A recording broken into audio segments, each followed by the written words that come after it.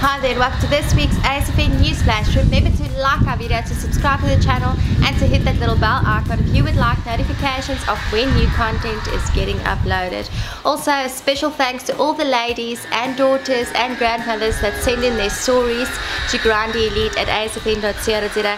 Please keep them coming so we can select a winner for that beautiful pink Daiwa cap and angling shirt. Our first catch this week is Janat Ibrahim who caught a grey shark of 138 centimeters off Durban. This was caught on his BG 8000 and a whole mackerel. Then Josh Meyer again, really enjoying his brand new Daiwa Grande Elite, catching a black ray. Let's have a look.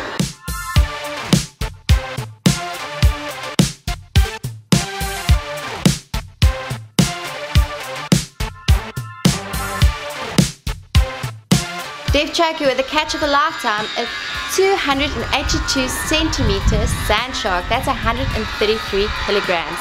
This Dave said is an unofficial KZN and South African record. This fish was caught on his Grande Elite medium heavy and his Saltist 8000. And then he also caught a blackfin shark of 185 centimeters, that is 103 kilograms. Congratulations on these spectacular catches. Then Bradley Cody at Umhloti Beach caught a grey shark of 23.8 kilograms. This was caught on his Daiwa Dogfight 8000 and 50 pound Daiwa J-Braid. Then some catches from Port Edward, Splash Rock from Ralph and Sean. First up, Ralph and Sean with a bronze bream and a stone bream. Then Ralph with a 42 centimeter stone bream that was caught on a cracker prawn. Then Ralph also managed to catch a couple more stone bream.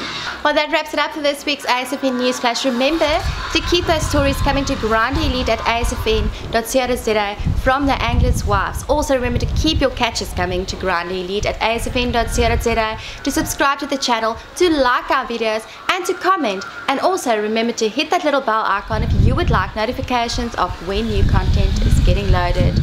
We'll see you next week, same place, same time. Goodbye.